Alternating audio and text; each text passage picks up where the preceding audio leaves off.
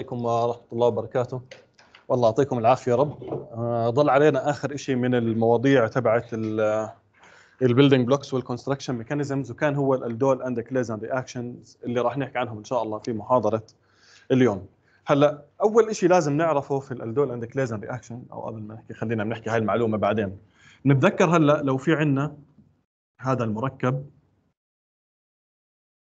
اللي فيه carbonyl group وهاي ال carbonyl group في جنبيها ذرة كربون عليها 3 H's هاي الكربون اللي جنب ال carbonyl group شو كنا بنسميها؟ مين بتذكر المحاضرة الماضية؟ صح؟ بنسميناها ال alpha carbon وحكينا إنه هاي ال alpha carbon اللي هي الكربون اللي على طول جنب ال carbonyl group شو مالها شو تعتبر؟ لو سمحت. بعتذر منك. حكينا إنه هاي الكربون اللي جنب ال carbonyl group أو اللي هي ال alpha carbon شو تعتبر؟ acidic صح مش هيك حكينا المحاضرة الماضية ولا لا؟ لو سمحتوا الكل يحضر المحاضرات يعني مش إنه بس تيجي على المحاضرة الوجهية عشان ناخذ فيها حضور وغياب محاضرة الأونلاين تسحب عليها الكل يحضر المحاضرات الأونلاين لو مش في وقتها على الأقل قبل ما تيجي المحاضرة الوجهية لأنه كله مبني على بعض تمام يعني أنا بهذا الحكي بكمل على المحاضره حكي المحاضرة الماضية. المحاضرة الجاية راح أكمل على حكي المحاضرة اليوم. فإذا بتحضر المحاضرات متقطعة راح تستصعب الموضوع. فعشان نستفيد بشكل كامل يعني وما يروح حضورنا وتعبنا كله على الفاضي لو سمحتوا نحضر المحاضرات بشكل متسلسل. وهيني دائما بسجل يعني محاضرة الأونلاين لو النت عندك ضعيف لو عندك دوام بالجامعة لو أي شيء عادي احضر من المحاضرة المسجلة. بس ضروري نحضر المحاضرة الأونلاين قبل ما نيجي على المحاضرة الوجهية. Anyway هلأ هاي ال alpha carbon اللي جنب الكربونيل لو فقدت بروتون هذا الحكي حكيناه المحاضرة الماضية هي هذا البروتون راح فقدناه بس نفقد البروتون شو راح يصير في علينا؟ راح يصير في علينا negative charge صح؟ طيب هلأ هل هاي ال negative charge اللي تكونت على ال alpha carbon هاي تعتبر stable ولا مش stable ليش non-stable هل هي stabilized طيب بطريقة ما ولا لا؟ أحكي لكم شغلة اللي حكى non-stable صراحة كلامه صح. هي ال charges عمرها ما كانت شيء stable بس بيصير لها stabilization فهي مش صح يمكن أحكي stable ولا مش stable بس هل هي stabilized ولا مش stabilized ليش stabilized لأن ليش في resonance أصلا؟ لأنه في conjugated system صح؟ في عندي هاي ال negative charge ما هي pi electrons بعدين في عندي single bond بعدين في عندي هون pi electron صح؟ وهذا راح يتيح ال movement تبعت هدول ال pi electrons. فهاي ال pi electrons تعمل لي nucleophilic attack على الكربون وال pi electrons الثانيين اللي فوق بيطلعوا على شكل negative charge على الأكسجين. وهذا بيعطيني هذا ال product RCO minus بعدين double bond و CHH ف ال negative charge هاي اذا على ال alpha carbon بصير لها stabilization by resonance وعشان هيك شو بنسمي هاي ال alpha carbon بما إنها بتفقد بروتون بتكون negative charge هاي ال negative charge stabilized by resonance بنسميها acidic صح؟ فال alpha carbon تبعت الكربونيل هاي تعتبر acidic carbon ليش acidic carbon شو ال acidic compounds شو ال acids؟ ال acids هم ال compounds اللي بيفقدوا بروتون صح؟ وبعد ما نفقد بروتون بتكون علينا negative charge إذا هاي negative charge كانت stabilized by something معناته أنا أعتبر acidic compound وهي ال negative charge هون في هاي الحالة هي stabilized by resonance طيب هلأ هذا المركب الأول وهذا التفاعل الأول هذا التفاعل إيش نوعه؟ أي نوع من ال reactions هو هذا التفاعل؟ مركب وفقد بروتون يتصرف ك acid إيش نوع هذا ال reaction؟ لا. فقد بروتون by acidity مش by oxidation reduction هلأ هون فقدنا البروتون وتكونت علينا negative charge يعني مش إنه فقدنا البروتون وفقدنا ال electrons تبعونها. هذاك تبع ال oxidation reduction. هون فقدنا بس البروتون وظلت معنا ال electrons. فهذا مش oxidation reduction هذا إيش؟ هذا acid base reaction صح؟ ما هيني بحكي إنه هذه ال alpha carbon acidic ف this is acid base reaction لأنه هذا المركب اللي هون تصرف ك acid وفقد البروتون. طيب نخلي هذا ال reaction على جنب اللي هو ال acid base reaction هذا.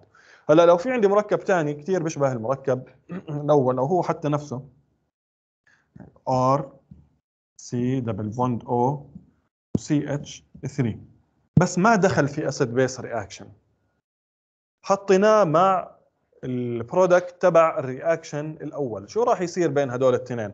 هلا هذا المركب اللي لونه أحمر شو ماله؟ وين ال sources of instability اللي موجودة فيه؟ الكربون شو مالها الكربون أي وحده من ال carbons ما هو في تنتين. CH3 ولا الكربون الثانية. خليني بس أرسم هون X بدل ال R مين more unstable مين مرتبط ب electronegative atom ساحب ال electrons؟ هاي صح؟ الكربونة اللي بالنص.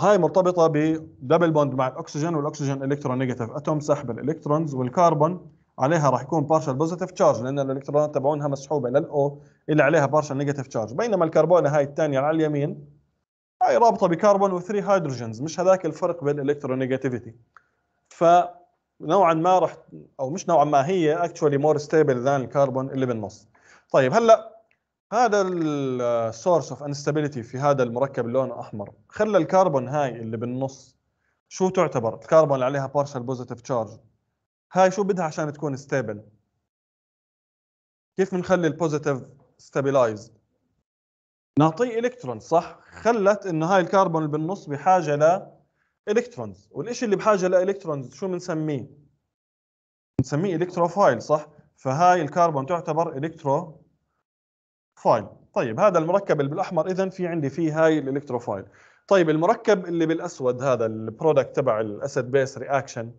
هذا شو ماله؟ الكربون تبعته العكس عليها إلكترونات صح؟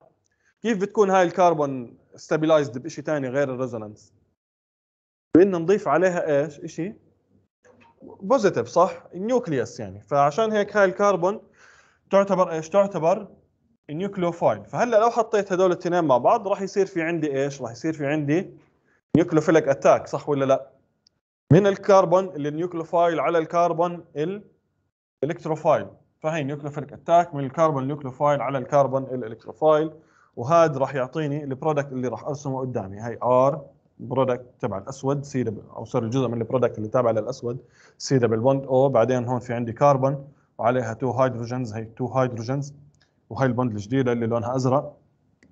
بعدين هون في عندي الكربون اللي انعمل عليها ال nucleophilic attack رابطة ب CH 3 وعاملة double bond مع O وكمان كان عليها X هلا هذا ال intermediate اللي تكون هل هو stable ولا مش stable ليش مش stable لأنه الكربون عاملة خمس روابط هاي الحمراء. الكربون اللي هون عاملة خمس روابط فهذا مخلي هذا ال intermediate مش stable كيف راح يكون هذا ال intermediate stable لازم واحدة من هدول الخمسة شو يصير فيها؟ تنكسر صح؟ عشان الكربون تكون عاملة أربع روابط وتكون stable مين فيهم تنكسر؟ هلا هذا actually بيعتمد على ال X هلا إذا كانت عندي ال X good leaving group هاي ال X أخذت الإلكترونات وطلعت. ساعتها مين بينكسر؟ بينكسر الرابطة اللي بين الكربون وبين ال X صح؟ وهذا بيعطيني هذا ال product R C double bond O C بعدين two hydrogens وهي الرابطة اللي تكونت بينهم وال C double bond O CH 3 هون لأنه X good leaving group طيب إذا X ما كانت good leaving group شو بصير؟ بنكسر مين؟ ال pi صح مين الأضعف؟ إذا ما كانش في عندي leaving groups ال pi دائما فال pi هاي بتنكسر بتروح على شكل negative charge على ال O تأخذ فيها الهيدروجين اللي طلع من ال acidity. نتذكر ال acid base ما إحنا فقدنا بروتون فال O بتأخذ هذا البروتون وساعتها بنحصل على هذا ال product R C double bond O بعدين هون سي 2 اتشز وهي ال bond الجديدة اللي لونها أزرق. صار في عندي هون C مع X لأنه X مش good leaving group سي اتش 3 واو وفي عندي كمان هيدروجين إيش الاختلاف بين هدول ال two types of products ال type الأول من ال product نلاحظ كان في عندي هون أو قبل ما أحكي عن الاختلاف بين هدول ال two types of products خليني أروح لسه لشيء basic أكثر هلأ هذا ال reaction كان بين مين ومين؟ بين هذا المركب اللي لونه أحمر صح؟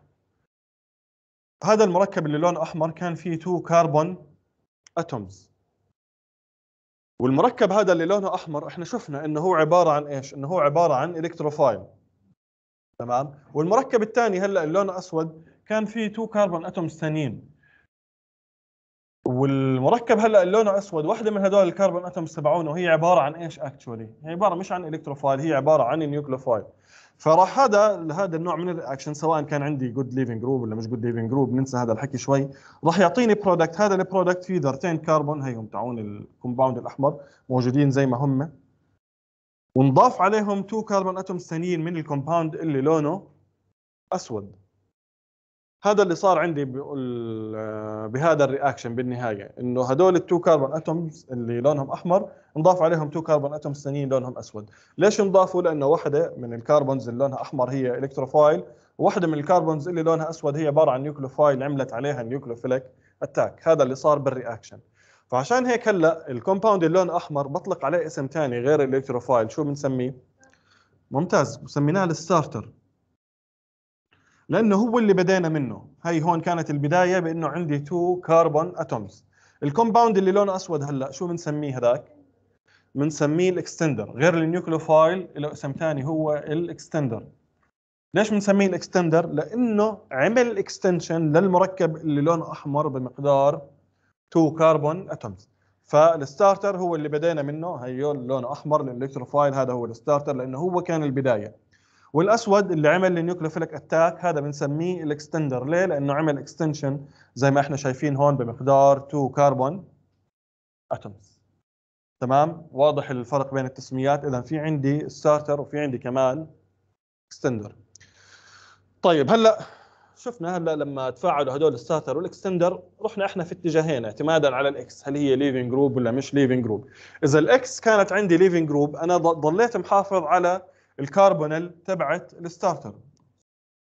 هاي الكربونال تبعت ال starter ضلت موجودة. إضافة طبعا للكربونال تبعت ال extender. هذا في حالة كانت X عندي good leaving group بينما إذا كانت X مش good leaving group ال carbonyl تبعت ال starter شو صار فيها؟ شو صار فيها هون الكربونال تبعت ال starter؟ تحولت ل OH صح؟ شفنا كيف تحولت ل OH لأنه انكسرت ال double bond راحت لل O وال O عملت ال nucleophilic attack على الهيدروجين اللي كان طالع من ال acid base reaction فتحولت لهون ل OH بس الكربون اللي تبعت ال extender ضلت على شكل C double bond O. هلأ هذا ال type من ال product اللي فيه ال OH واللي فيه ال O شو بنسميه مين بتذكر؟ هذا ال reaction شو بنسميه إيش عنوان المحاضرة؟ Aldol and Claisen طب مين aldol تتوقعوا من الاسم؟ إيش معنى aldol؟ aldol معناته إنه في OH aldol نسبة ل ald من aldehyde و ol من الكحول. هلا هو مش ألديهايد هو كيتون بس خلص هيك الاسم. أو هو كربون اللي بشكل عام. وأول نسبة لوجود الاو اتش فالمركبات اللي فيها ال OH هاي بنسميها aldol type products تمام؟ بينما المركبات اللي ما فيها OH اللي فيها اثنين carbonyls هدول شو بنسميهم؟ بنسميهم ال Claisen type product على اسم العالم اللي اكتشف هذا التفاعل تمام؟ فهدول هم ال aldol وال Claisen reactions إيش الفرق بين ال aldol وال Claisen reactions هم نفس الشيء بالضبط. الفرق بس إنه ال starter تبعي هل عنده good leaving group ولا ما عنده good leaving group إذا كان عنده good leaving group فأنا بدخل ب Claisen reaction وإذا ما كان عنده good leaving group فأنا بدخل ب aldol reaction هذا هو الفرق بين ال aldol وال Claisen reactions اذا واضح كل شيء لحد هلأ. واضح الفرق بين ال aldol وال Claisen الفرق بين ال starter وال extender. وأهم من هذا كله واضح إنه ال aldol وال Claisen reactions هم actually two reactions بالأول إيش كان في عندي؟ acid base reaction صح؟ بعدين ال aldol وال Claisen كان بالخطوة الثانية. دائما نضل متذكرين هذا الشيء إنه ال aldol and Claisen reaction هم actually دائما خطوتين. بالأول عندك acid base والخطوة الثانية هي ال aldol Claisen ف دائما عندك هدول الخطوتين تمام؟ ضل متذكرين هذا الإشي كثير منيح لأنه هلأ راح ينبنى عليه كثير أشياء هلأ ولقدام كمان. طيب هلأ نأخذ مثال ما فيش فيه إكس نأخذ مثال من الحياة الواقعية. لو في عندي هذا المركب.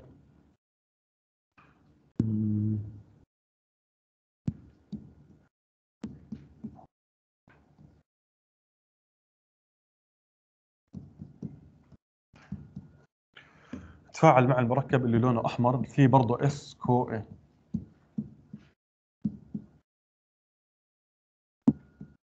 هلا هدول الاثنين عشان يتفاعلوا إحنا حكينا بالخطوة الأولى شو لازم يصير في عندنا لازم يصير في عندنا acid base reaction صح؟ فهي صار عندنا acid base reaction هون على هذا الأسود وفقدنا negative charge فقدنا proton sorry تكون علينا negative charge هاي negative charge كانت stable by resonance هلا شو راح يصير بين هدول الاثنين؟ راح يصير nucleophilic attack صح؟ مش هذا الأسود nucleophile هيو عليه الكترون والأحمر هو عبارة عن إيش؟ electrophile لأنه الكربون تبعته عليها partial positive charge لأنه الإلكترونات تبعتها مسحوبة. فراح يصير في عندي nucleophilic attack من ال nucleophile على ال electrophile. طيب هلأ بعد هيك شو راح يصير؟ راح تصير تصفي الكربون هاي الحمراء ال electrophile عاملة خمس روابط. ففيهم واحدة راح تنكسر. مين راح تنكسر هون؟ هلا هون أنا عندي SCoA بطل عندي X صار عندي شيء أنا عارف شو هو أنا عارف ال SCoA ال SCoA كيف شكلها؟ ال SCoA شكلها زي هيك هي هذا المركب هي ننسى ال H هي بتكون مرتبطة من هون وعندي ال S وهذا كله هو ال CoA شو وضعها هاي ال SCoA هل تعتبر good leaving group ولا لا تعتبر good leaving group ليش good leaving group لأنه شو مالها؟ صح جوابكم بس ليش؟ أنا بهمنيش إن نعرف الجواب الصح تحذير. بهمني نفسر ليش هاي good leaving group إيش اللي بخلي ال good leaving group good leaving group مش حكينا المحاضرة الماضية أو اللي قبلها إنه بيعمل stabilization لل negative charge هل هذا الشيء اللي بيعمل stabilization لل negative charge ولا لا؟ ليش بيعمل stabilization لل negative charge لأنه مليء بال conjugated systems وال electronegative atoms صح ولا لا؟ يعني طلع في عندي sulfurs و nitrogens و oxygens و phosphorus وفي عندي كمان كثير conjugated systems هاي هون هذا conjugated system هذا conjugated system تحت conjugated system هون conjugated system على اليمين conjugated system فهذا actually مش good leaving group هذا excellent leaving group ال SCoA هي واحدة من أحسن ال leaving groups اللي موجودة لأنها بتعمل stabilization لل negative charge كثير منيح either by resonance أو حتى كمان by induction لأنه كمان هي مليئة بال electronegative atoms أو ال induction على ال resonance systems يعني حتى ال conjugated systems تبعتها كلهم electronegative atoms فيهم.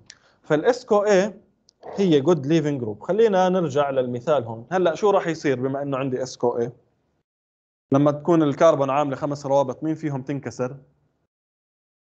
تبعت ال SCoA صح ما هي leaving group حكيت أنا ال SCoA فهذا راح يعطيني هذا المركب ال SCoA بعدين هون C double bond O و C 2 hydrogen atoms وال bond الجديدة. هاي الكربون اللي لونه أحمر مع ال CH 3 وبتطلع عندي ال SCoA as leaving group زي ما حكينا. طيب هلا وجود ال SCoA في ال product اللي لونه أحمر اللي هو ال electrophile اللي إيش سميناه ال electrophile؟ تتذكروا؟ سميناه؟ لا هو هو اللي بدينا منه صح؟ هيا اللي بدينا منه. سميناه ال starter. وجود ال SCoA في ال starter شو أثر على ال aldol and Claisen reactions شو أثر على ال reaction وجود ال SCoA خلى ال reaction شو ماله؟ Claisen خلى بالضبط خلى ال reaction دائما Claisen اذا وجود ال SCoA في ال starter شو بيأثر على ال aldol and Claisen reaction بخليش في aldol بخليه دائما رايح باتجاه Claisen لأنه ال SCoA هي good leaving group فلما تشوف SCoA في starter اعرف إنه أنت دائما راح تدخل في Claisen reaction خلص ما راح ندخل ب aldol دائما في Claisen فهذا هو تأثير وجود ال SCoA على ال starter طيب هلأ أنا شايف المركب الأسود تبعي كمان عليه SCoA واللي هو في هاي الحالة ال extender صح؟ إيش تأثير وجود ال SCoA على ال extender هلأ لو أتخيل إنه في عندي two extenders هاي ال extender الأول في C double bond O CH 3 وعندي عليه OH مثلا. و extender ثاني C double bond O CH 3 بس بدال ال OH عليه SCoA هلأ إحنا حكينا إنه في ال aldol and Claisen reaction عشان ال reaction يمشي قلنا إنه ال reaction هو actual عبارة عن خطوتين صح؟ إيش كانت الأولى؟ acid base reaction لمين؟ لل extender صح؟ فبالبدايه أصلا هذا ال extender لازم إنه يفقد بروتون. عشان ال reaction أصلا يمشي. طيب مين فيهم راح يفقد بروتون أسرع اللي فوق ولا اللي تحت؟ مين بيفقد بروتون أسرع؟ اللي بكون ك reactant شو ماله more stable ولا less stable هلا إحنا دائما بنعرف إنه ال chemistry قبل ما نحكي هذا ال reaction دائما ال chemistry هي chase of stability انت دائما عشان تزيد ال reactivity باتجاه ما إما بتزيد ال stability تبعت ال products أو بتقلل ال stability تبعت ال reactants هذا هو الشيء اللي بيزيد ال stability إما ال stability تبعت ال products أعلى أو ال stability تبعت ال reactants تكون أقل. دائما هي هيك ال chemistry. chase of stability دائما هاي خلوها حلقة قدامكم زي ما بيحكوا. طيب مين من هدول ال more reactive إما اللي بيعطيني more stable products أو هو أصلا بيكون less stable ك reactant صح ولا لا؟ مين من هدول less stable ك reactant هلأ وين ال stability هون في الموضوع أصلا؟ ال stability تبعت ال reactant هاي من وين جاي؟ مش في عندي هون كربون هاي الكربون عليها double bond صح؟ بس في جنبيها إيش؟ في جنبيها اكسجين هون الاكسجين عليها lone pair of electrons فعندي هون lone pair of electrons بعدين عندي single bond بعدين عندي double bond فمعناته إيش في عندي هون؟ في عندي conjugated system صح؟ في عندي movement of electrons by resonance وال movement of electrons by resonance إيش بيعمل بال stability بزيدها فهي ال stability هون زايدة بسبب وجود هذا ال conjugated system طيب تحت. هل هون في عندي resonance ولا ما فيش عندي resonance مش sulfur زيها زي ال O صح؟ في عليها برضه two lone pairs of electrons واحد منهم راح يكون داخل بال conjugation فهي pi electrons بعدين عندي single bond بعدين عندي pi electrons فهذا راح يعطيني برضه stabilization by resonance راح يزيد ال stability تبعت هذا ال product طيب إيش الفرق طيب بين ال O وال sulfur نتذكر بالجدول الدوري كيف كان ترتيب الذرات؟ نتذكر ال O كانت وال sulfur وين موجودة مقارنة بال O تحتيها على طول صح؟ وال O في قبليها كان النيتروجين وكان في قبليها الكربون. وكنت بدي ألف أمشي row كامل عشان أتحرك من ال O لل sulfur. إيش معناته الاختلاف الرئيسي بين ال O وال sulfur؟ غير ال غير ال الاختلاف بال electronegativity هو صراحة من تحت لفوق مش هذاك الفرق الكبير. الفرق الكبير بال electronegativity من الشمال لليمين. من تحت لفوق yes في فرق بس مش فرق كثير كبير. الفرق الرئيسي هو ال size بالضبط. هلا انت بالجدول الدوري كل ما تمشي هيك من الشمال لليمين بعدين تنزل السطر اللي تحته من الشمال لليمين من الشمال لليمين انت عماله بزيد عندك ال atomic number صح؟ وبالتالي زيادة ال atomic number معناته زيادة إيش؟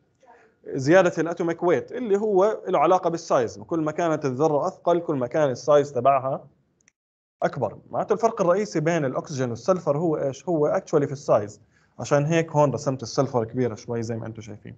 هلأ بالحالتين في عندي conjugated systems في عندي movement of electrons by resonance. هاي هون الالكترونات هدول بيتحركوا بس الالكترونات هدول بيتحركوا بين ال orbitals تبعون مين؟ تبعون الاكسجين وتبعون الكربون. الفرق بال size بين الاكسجين والكربون شو ماله؟ كم الـ molecular weight تبع الكربون؟ مين بيعرف؟ بلاش molecular weight. طيب الرقم هاي الكربون رقمها كم؟ 12 صح؟ وال... والأكسجين.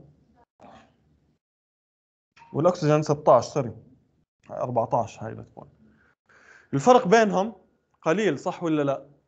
بينما ال sulfur الفرق بينها وبين الكربون شو ماله؟ كبير. أنا هون مشيت row كامل. يعني الفرق بين بين الاثنين راح يكون أكبر من 15 مش بس بحكي على اثنين وعلى ثلاثة. فبالتالي ال movement of electrons من ال sulfur للكربون شو مالها؟ تكون شوي أصعب. هلا كيف تتخيلوا الموضوع؟ تخيلوا إنه أنا ال electrons تمام؟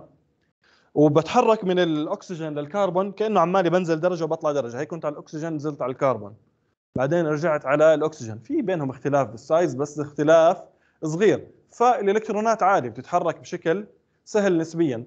بينما ال sulfur لا ال sulfur حجمها كثير أكبر من حجم الأكسجين. فالإلكترونات لما يتحركوا بين ال sulfur والكربون مش كأنه بينزل درجة وبيطلع درجة لا كأنه بنط طابق كامل من فوق لتحت.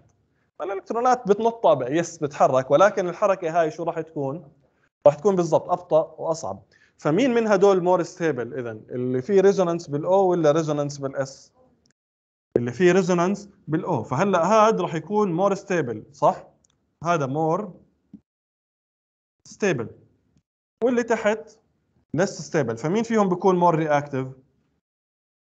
اللي تحت. أبو ال sulfur اذا هذا هو ال more reactive فهلأ وجود ال sulfur شوف أو sorry ال SCoA وهي ال sulfur ما هي جزء من ال SCoA وجود ال SCoA في ال extenders شو عمل بال reaction شو عمل بال aldol and Claisen reaction خلاه إيش؟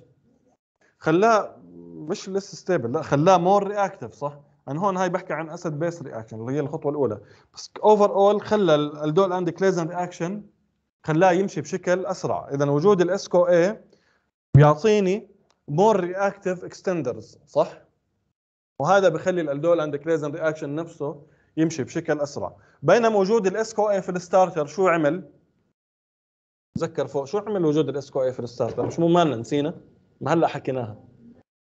خلانا دائما ندخل في Claisen type product لأنه ال SCoA good leaving group اذا هذا هو أثر ال SCoA ال SCoA على ال starter هي ال SCoA good leaving group فلما ألاقيها بال starter معناته دائما راح أدخل في Claisen type reaction زي ما إحنا شايفين هون. بينما أثر ال SCoA على ال extender شو عملت بال extender خلته more reactive بالتالي ال aldol and Claisen reaction بيمشي بشكل أسرع. هذا هو الفرق بين الاثنين. واضح؟ حد عنده سؤال؟ طيب هلأ نيجي ل برضه مقارنة ثانية بين مركبين. لو عندي هذا المركب اللي هو ال SCoA اللي كنت راسمه فوق قبل شوي و CH 3 وعندي مركب ثاني بيشبهه كثير برضه SCoA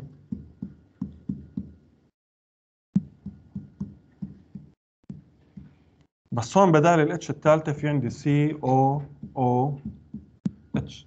مين بيتذكر شو كانت أسمائهم هدول؟ طب قبل ما نحكي على الأسماء بنرجع للأسماء. مين من هدول more acidic؟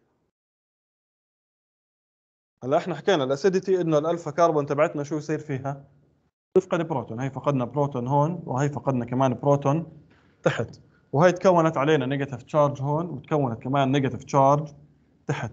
مين more acidic؟ اللي ال negative charge تبعته شو مالها في ال product؟ more stable مين more stable فوق كيف ال negative charge هاي بصير لها stabilization لأنها جزء من conjugated system صح؟ مش هي pi electrons بعدين عندي single bond بعدين عندي pi electrons فبصير عندي stabilization by resonance طيب تحت. نفس الشيء ما هي pi electrons صح؟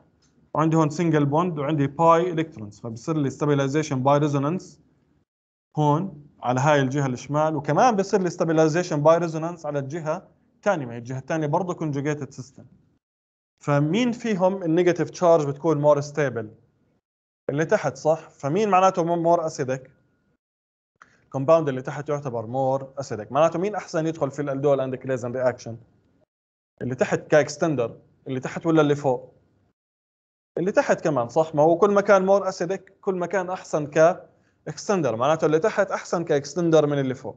هلأ هدول الاثنين بدنا بنتذكر شو كانت أسمائهم. هذا اللي فوق سميناه ال acetyl CoA هذا اسمه ال acetyl CoA واللي تحت سميناه ال malonyl CoA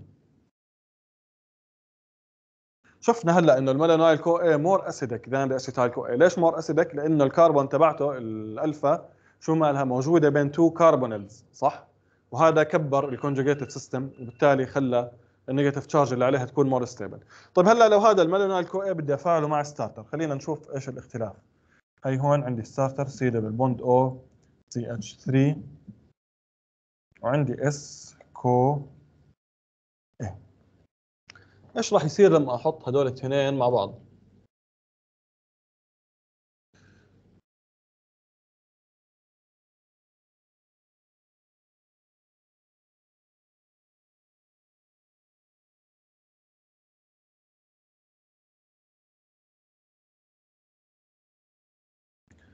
هلا ال starter شو ماله؟ حكينا شو وضع الإلكترونات اللي موجودة فيه اللي ما دخل في ال acid base reaction الكربون تبعته الكربونيل تعتبر إيش؟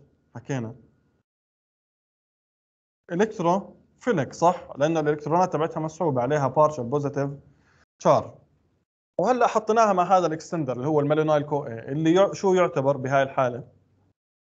nucleophile صح؟ مش عليه negative charge عليه يعني lone pair electrons فهو عبارة عن nucleophile. فشو راح يصير عندي بين هدول الاثنين nucleophilic attack صح؟ من الكربون على مين؟ على من الكربون ال nucleophilic على الكربون اللي عليها partial positive اللي هي ال electrophilic اللي موجودة تحت. طيب هلأ بال malonyl CoA هذا الجزء اللي على اليمين من المركب ال C double bond O بعدين O و H شو اسمها هاي ال functional group ال carboxylic acid صح؟ COOH هاي. ال carboxylic acid ك functional group هل تعتبر reactive ولا stable؟ carboxylic acid functional group COOH reactive ولا stable؟ إيش stable؟ very reactive very reactive actually ال carboxylate صح؟ سواء بأنها تتصرف ك acid يعني تفقد بروتون ويتكون علينا negative charge وبعدين نعمل nucleophilic attacks بال negative charge تبعتنا أو إنه ال OH هاي تبعتنا تطلع as leaving group وينعمل علينا إحنا nucleophilic attack التفاعلات تبعت ال carboxylate mainly بتنقسم لهدول القسمين تفاعلات بتعتمد على ال acidity تبعت ال functional group وتفاعلات بتعتمد على ال electrophilicity تبعت الكربون اللي موجودة بهذا ال functional group فيعني overall هي تعتبر شو مالها؟ مش stable ك functional group فهلا هون في ال reactions ال COOH عادة بتحب إنه هي تتفاعل. هلا بال reaction هذا ما تفاعلت ال COOH صح؟ هي ما تفاعلت ما عملت ال nucleophilic attack على الكربون اللي تحت. بس COOH عادة إذا هي ما دخلت بشكل هيك يعني واضح بال reaction تتفاعل مع نفسها بصير في عليها rearrangement of electrons وهذا الشيء راح نشوفه بيتكرر كثير لقدام مش بس بال malonyl CoA تقريبا بمعظم ال reactions اللي فيها COOH ما بتدخل فيهم. هلأ ال COOH هاي الأكسجين تبعتها عليها lone pair of electron صح؟ إذا ما دخلت بال reaction خلص أنا بدي ألعب لحالي بصير بدها تتفاعل مع نفسها. فال lone pair of electrons تبع الأكسجين بصير هو بده يعمل nucleophilic attack على هاي الكربون اللي موجودة هون. بيعمل رابطة بين ال O وبين الكربون هلأ بتصفي ال O كم رابطة عاملة؟ ثلاثة صح؟ بدها تنكسر واحدة عشان ترجع ال lone of electrons فبتخسر البروتون وبتاخذ ال electrons تبعون هذا البروتون. الكربون هلأ اللي هون كم رابطة بتصير عاملة؟ خمسة صح؟ فمين بتنكسر بتنكسر الرابطة اللي بين الكربون تبعت ال carboxylate وبين ال alpha carbon. انت بتكون مشياني خلص بلاش. هاي بديش إياكم. فبتطلع ال alpha carbon وبيروح عليها negative charge بسبب هدول الإلكترونات. هاي ال negative charge بتأخذ فيها الهيدروجين. تبع ال carboxylate فكيف راح يطلع شكل ال product تبعي بالنهاية؟ خلينا نشوف. هاي خلينا نمحيها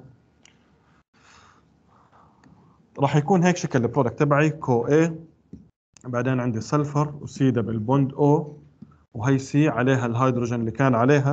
بدي ارسم الهيدروجين الثاني بالاخضر هي الهيدروجين الاخضر هذا تبع ال carboxylate وهي ال bond الجديدة اللي لونها أزرق.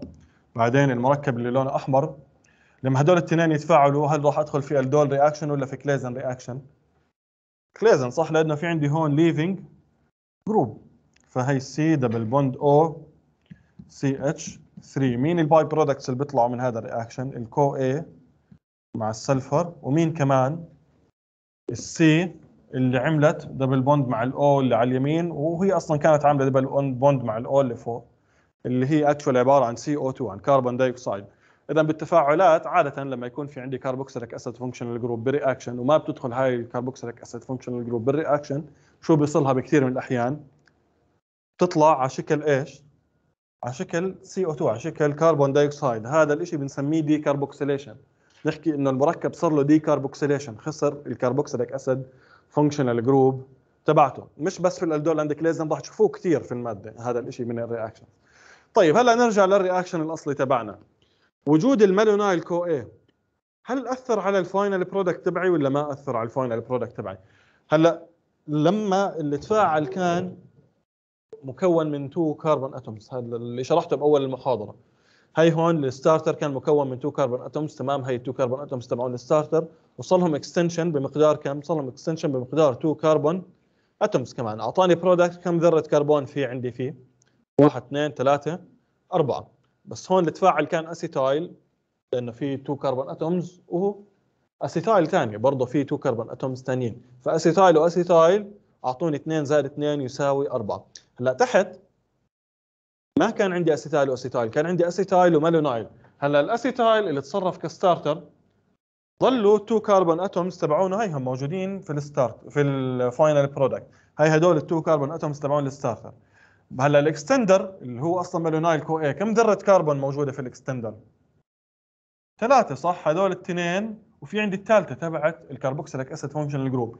هل لما كان ال extender عندي malonyl CoA عمل extension بمقدار 3 carbon atoms لا هو برضه عمل extension بمقدار كم؟ extension بمقدار 2 والثالثة طلعت as carbon dioxide معناته سواء كان عندي ك extender acetyl CoA أو malonyl CoA هل ال final product تبعي اختلف؟ ما اختلف ضل نفسه صح؟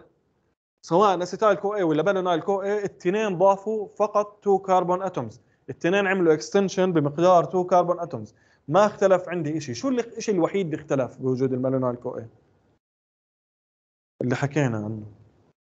ال reactivity صح ولا لا؟ مش ال malonyl CoA more reactive than ال acetyl CoA لأنها more acidic الشيء الوحيد اللي اختلف في حالة وجود ال malonyl CoA ك extender هو فقط ال reactivity بس إنه ال reaction مشي أسرع ولكن ال product تبع ال reaction ضل زيه سواء كان malonyl ولا acetyl أنا نفس ال product صح؟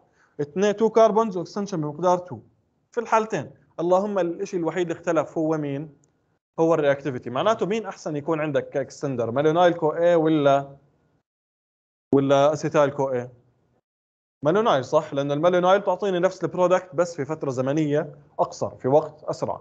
فال malonyl CoA وجودها ك extender أحسن لأنها more acidic شفنا ليش more acidic لأن ال negative charge stabilized من الجهتين.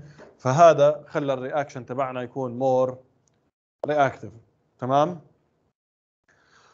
طيب هلأ هذا الفرق بين ال malonyl وال acetyl. actually ال malonyl هي أصلا acetyl CoA بس مضيوف عليها carbon dioxide يعني ال acetyl CoA بتقدر أجسامنا تحولها ل malonyl CoA بإضافة carbon dioxide عليها من ال carbonic acid اللي أصلا موجود في الدم تبعنا. فهم الاثنين أصلا واحد تقريبا. يعني حتى ال malonyl أصلها كان acetyl بس في ال malonyl form تبعها بتكون more reactive هلأ شغلة أخيرة بدنا نحكي عنها. بدنا لون ما استخدمناهوش.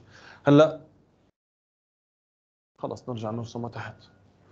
لو في عندي هذا المركب ك extender ال CoA S بعدين هون عندي double bond O وهي ال alpha carbon عليها هيدروجين بس بدال الهيدروجين الثاني في عليها R group. بعدين C double bond O OH. وجود ال R group شو راح يأثر على ال reaction؟ هلأ ال malonyl CoA هي تفاعلت على أساس إنها إيش؟ في ال aldol Claisen. تفاعلت على أساس إنها extender صح؟ ليش تفاعلت على أساس إنها extender؟ لأنها فقدت بروتون.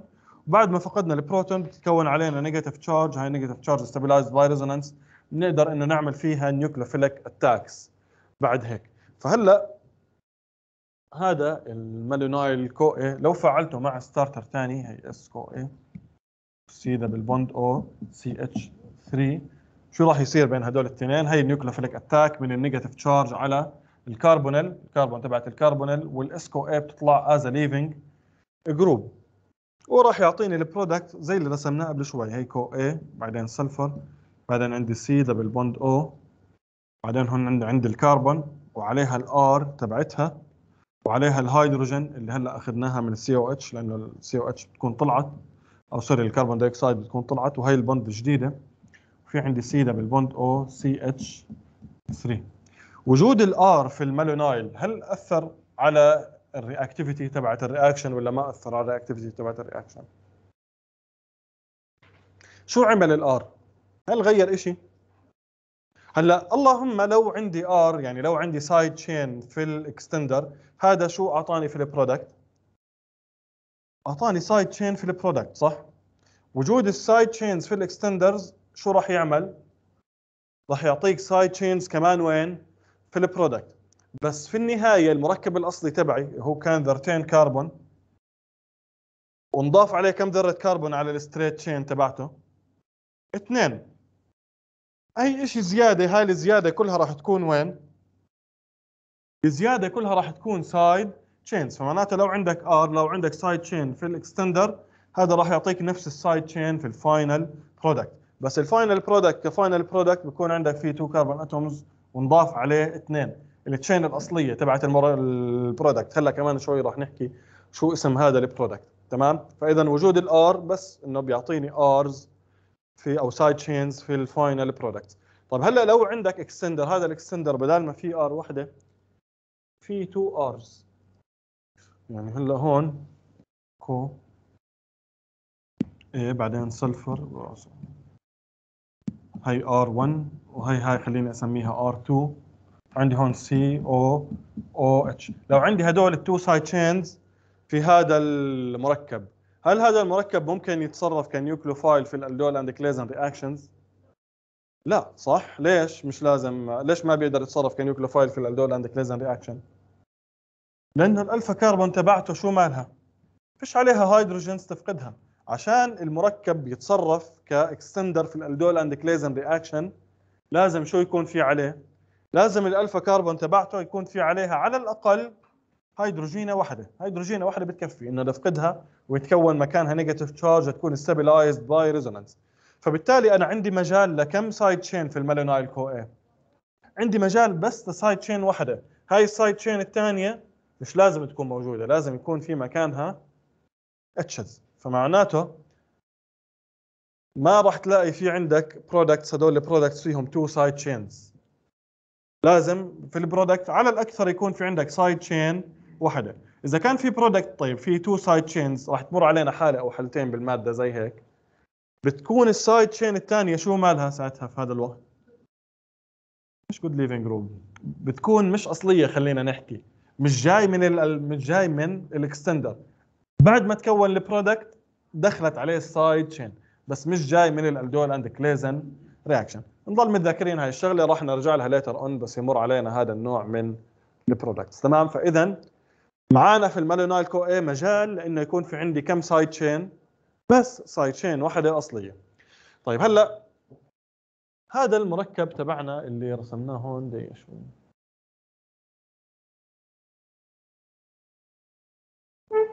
خليني أرجع أرسم مرة ثانية تحت أسهل لي. شوي بدل ما أنزله. في عندي كان CH 3 C double bond O بعدين هدول كانوا رابطين بال bond الجديدة هيها. وعندي هون CHH بعدين C double bond O و S CoA هلا هذا كان product من ال aldol and Claisen reaction هذا أي نوع من ال product سميناه ال aldol ولا ال Claisen؟ هذا ال Claisen صح؟ وهو مكون من starter هاي ال starter اللي فيه 2 carbon atoms ونعمل لهم extension بمقدار 2 carbon atoms لو هذا ال product نفسه رجع تفاعل مع extender ثاني مع هي malonyl CoA ثاني بدي ارسمها باللون الأخضر S CoA بعدين C double bond O والكربون تبعتها عليها two hydrogens و COOH شو راح يصير بين هدول الاثنين؟ ال malonyl هاي راح تفقد هذا البروتون صح؟ ويتكون علينا negative charge stabilized by resonance نعمل فيها nucleophilic attack ما هاي هلا الكربون هون اللي تبعت ال extender الأول. ما هي مرتبطة ب double bond مع ال O صح؟ فهي بالتالي شو مالها؟ شو في عليها؟ عليها partial positive charge صح ولا لا؟ فاللي بيصير في عندي هون اذا هو ال nucleophilic attack من الكربون هاي على الكربون. اللي عليها partial positive charge من الكربون اللي nucleophilic على الكربون electrophilic وبعد هيك مين بيطلع؟ S CoA صح as leaving group وهذا راح يعطيني ال product اللي راح أرسمه هلأ. CoA بعدين sulfur و C double bond O هاي ال C مع two hydrogens الهيدروجين اللي فوق الأصلي والهيدروجين اللي تحت اللي شفنا اللي بيجي من ال COH بعدين رابطة. بعدين تبعون الجزء الأسود من المركب. بعدين تبعون الجزء الأحمر. هلا شو صار عندي أنا؟ كان عندي هذا ال starter اللي لونه أحمر صح؟ انعمل له extension بال extender الأول بمقدار 2 carbon atoms صح؟ صار في عندي product عليه أربعة carbon atoms هلا هذا ال product اللي عليه أربعة carbon atoms برضه تصرف كإيش؟ تصرف ك starter صح ولا لا؟ تصرف ك starter في cycle ثانية من ال aldol and Claisen reaction فانعمل عليه nucleophilic attack من extender ثاني وصل له كمان extension بمقدار 2 carbon atoms ولو عندي extender رابع شو راح يعمل؟ extender ثالث sorry راح يعمل نفس الشيء صح؟ تخيل لو عندك extender ثالث برضه راح يعمل لك nucleophilic attack هون ويعمل extension بمقدار 2 carbon atoms فبال aldol and Claisen reactions ال aldol and Claisen reactions actually بيتموا من خلال cycles يعني بيكون في عندي starter مكون من 2 carbon atoms بال cycle الأولى بنضيف عليه 2 carbon atoms من ال extender الأول. بعدين بندخله ب cycle ثاني شو بنعمل فيه؟ بنضيف عليه 2 carbon atoms من ال extender الثاني بعدين إذا بدنا بندخله ب cycle ثالثة بنضيف عليه 2 carbon atoms من إيش؟ من extender ثالث. وهكذا. فال aldol and Claisen reactions بتموا من خلال cycles. في كل واحدة من هدول ال cycles شو عماله بينضاف عندي على المركب؟ two عماله بينضاف two carbon atoms. هاي ال two carbon atoms بسميها ال acetate unit. لأنه هي إحنا شفنا هون ممكن تكون جاي من acetyl CoA بس ال acetyl CoA أو sorry جاي من malonyl CoA بس ال malonyl CoA نفسه هو جاي من وين؟ من acetyl عشان هيك بسميها ال acetate unit فأنت كل cycle عمالك بتضيف عندك acetate unit وهذا اللي بكون لي ال compounds تبعون ال acetate pathway بنسمي ال compounds بتتكون بهذه الطريقة ال compounds تبعت ال acetate pathway إيش بيميز ال compounds تبعت ال acetate pathway بدنا نلاحظ هلا هون في عندي oxygenated carbon صح؟ بعدين non-oxygenated carbon بعدين عندي oxygenated carbon بعدين non-oxygenated carbon بعدين في عندي oxygenated carbon وهكذا. في عندي on-off pattern of oxygenation بين كل two oxygenated carbons في عندي وحدة non-oxygenated هذا اللي بيميز ال compounds تبعت ال acetate pathway سواء كان ال oxygenation هذا C double bond O لأنه هون عندي Claisen reaction أو حتى لو كان ال aldol حتى لو كان ال aldol راح يكون عندك هون OH بس. still oxygenated carbon فوجود ال on ال on-off oxygenation pattern هو اللي بيميز ال compounds تبعت ال acetate pathway تمام؟ هلأ آخر شيء راح نحكي عنه بالمحاضرة. هون هذا اللي كنا نحكيه ال cycle. هلا بدأنا من acetyl CoA ال start الأول. عملنا له extension ب malonyl CoA فصار في عندي product عليه 4 carbon atoms هي ال four carbon atoms تعمل product واحد اثنين ثلاثة أربعة. هذا لو دخلناه في cycle ثانية راح نضيف عليه كمان اثنين وهكذا. إيش بنسمي ال product تبعت ال aldol and Claisen reaction إيش ال functional group هاي؟ ال C double bond O بعدين ال sulfur. في شيء سؤال في شيء شو بنسمي هاي ال functional group ال C double bond O وبعديها ال sulfur لا ال thiol ال sulfur بدون ال C double bond O بنسميها الثيول. طيب لو عندك C double bond O وجنبيها اكسجين شو بنسميها؟ بنسميها استر صح ولا لا؟ طيب هلا لو عندك C double bond O جنبيها sulfur شو بنسميها؟ thioester أخذنا هذا الاسم سابقا في ال cognosy نتذكر. C double bond O جنبيها sulfur هاي بنسميها thio. ester. وال ester العادي اللي هو ال C double bond O جنبيها أكسجين. هلأ لو كان عندي SCoA أو في هاي الحالة S-enzyme هون ال ACP هو ال ACP arm تبعت الإنزيم. لسه even بتكون يعني leaving group أحسن من ال CoA وبتخلي ال pro ال reaction تبعي more reactive لو كان nucleophile فوجود ال SACP اي اعتبروها زي كأنها SCoA سواء كان عندي SCoA أو عندي OH هذا راح يعطيني في النهاية إما إستر أو thioester تمام؟ هلأ هاي الكربونيل تبعت هذا الإستر هاي الكربون اللي جنب الكربونيل شو بنسميها بنسميها ألفا كنا صح؟ الكربون اللي بعديها هاي شو بنسميها هون؟ beta ال carbon ال beta شو في عليها؟